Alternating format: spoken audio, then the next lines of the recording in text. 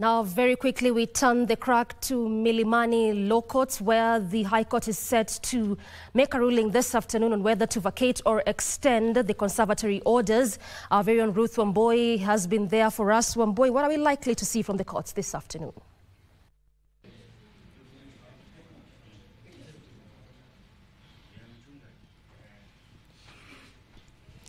Good afternoon, Doreen Arange. We are coming to you live from Milimani's High Court, whereby you understand today is a D-Day. A make it or make it uh, ruling is set to be heard from 2.30 p.m.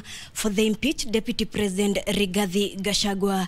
You understand that uh, Rigathi Gachagua had gone to the Court of Appeal on Monday to seek orders that uh, the bench is not properly constituted and that the DCJ Deputy Chief Justice Philomena Mwilu had in law by empaneling the bench to hear the matter.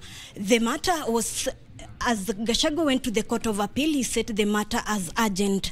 But uh, the bench at the Court of Appeal, led by Justice Patrick Kiage, George Odunga, and Aggrey Muchelule, scheduled the matter this morning. The matter has been uh, heard this morning, and the the bench has given a ruling at exactly 12:30 p.m.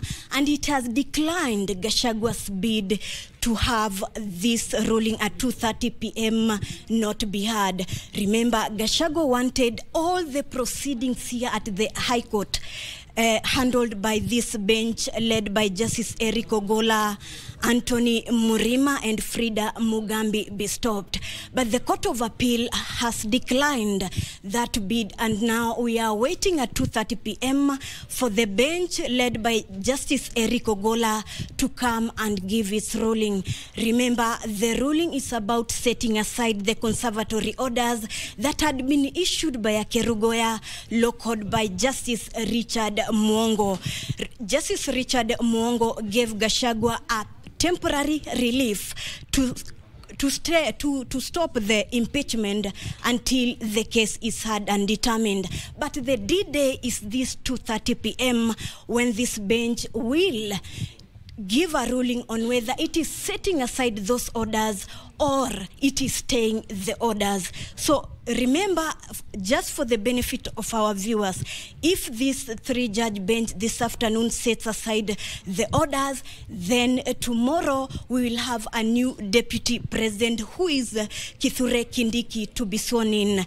Remember, if the orders are set aside, remember the new deputy president is supposed to be sworn in between 8 a.m. and 2 p.m. So even if the orders are set aside this afternoon, Kindiki cannot be sworn in. We'll have to wait for tomorrow, Friday, for him to be sworn in.